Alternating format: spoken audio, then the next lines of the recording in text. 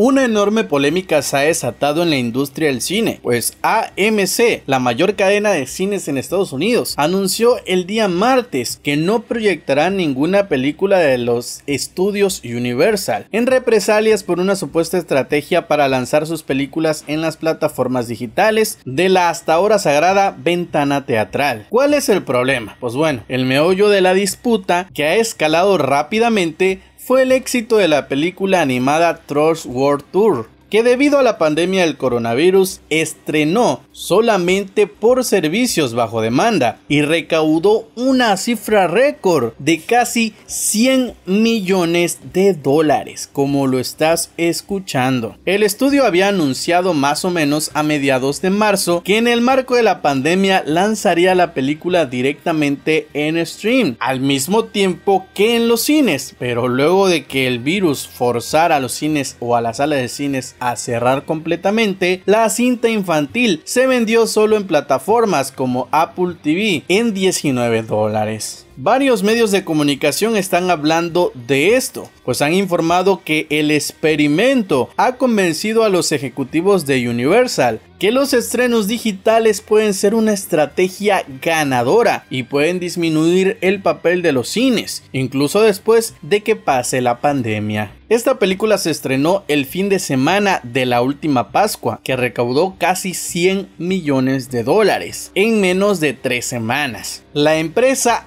AMC, que tiene solamente en Norteamérica más de 8000 salas, informó en un comunicado que no proyectará ninguna película de Universal en ninguno de sus cines en Estados Unidos, Europa y Medio Oriente. AMC cree que con esta estrategia de lanzar en casa y en cine simultáneamente, Universal está rompiendo el modelo de negocio y los tratos entre nuestras dos compañías, indicó el presidente de la empresa, se están viendo afectados. Antes de la pandemia, los estudios normalmente esperaban una ventana de 90 días para estrenar las películas digitalmente después de su estreno en salas. La disputa se produce en un momento de preocupación sobre el futuro de las salas de cine, que existía incluso antes de la pandemia debido a la popularidad de las plataformas en streaming. Y aunque este gran éxito o este fenómeno se debe a que muchas personas están encerradas en su casa, la realidad es que las empresas ya han pensado desde antes cómo pasar de los cines tradicionales a la forma digital. Algo que preocupa sin duda a las grandes empresas de cine a nivel mundial. Déjame saber lo que piensas en la caja de los comentarios acerca de este tema. Tu opinión es demasiado importante. ¿Qué crees que pase en el futuro? Más con este problema de la pandemia. ¿Crees que el cine ahora va a ser de manera totalmente digital? Que claro, esto no va a ser a corto ni a mediado plazo. Puede que sea una alternativa en un futuro un poco lejano. Pero dime, ¿te gustaría la idea? Déjame saber lo que piensas en la caja de los comentarios y nos vemos hasta el